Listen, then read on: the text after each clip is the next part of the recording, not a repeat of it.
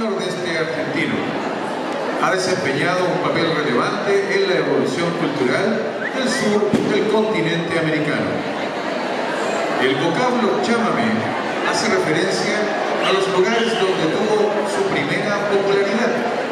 Es una danza alegre y animada. Los bailarines tienen la oportunidad de lucir toda su habilidad y destreza con sus pasos de baile, cambios de figuras, zapaleos y largadas.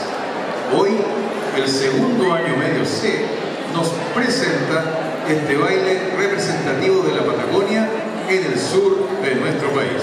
Fuerte el aplauso para el segundo medio C.